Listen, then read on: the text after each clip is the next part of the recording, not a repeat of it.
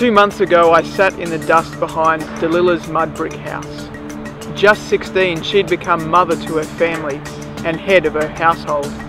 And as the East Africa drought worsened she watched her brothers and sister become more and more hungry.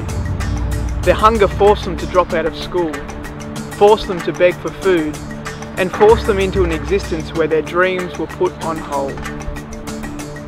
As we sat in the dry Kenyan heat, they each told me their dreams, be doctors, teachers, truck drivers, kids just like yours and mine with dreams put on hold. That changed when the family met ADRA workers in the region. Thanks to your support of our East Africa appeal, they are now eating three meals a day and they've returned to school.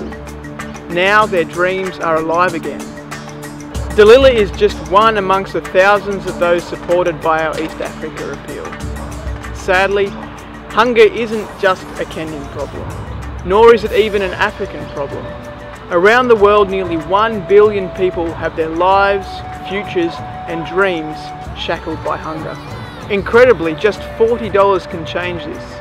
For the cost of an average Australian family's takeout meal, you can secure the food and future of someone in need.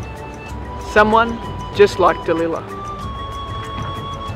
In Myanmar, Mongolia, Cambodia, Zambia, Zimbabwe, Malawi, Kenya, Fiji, Papua New Guinea and nine other countries around the world, ADRA Australia is working to secure the food and futures of people in need.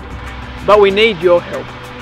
We want to support an additional 21,000 people this coming year. $840,000 before June 30 is what it will take. A takeout meal or a life with secure food and secure futures. $40 can make this happen. It's a matter of choice.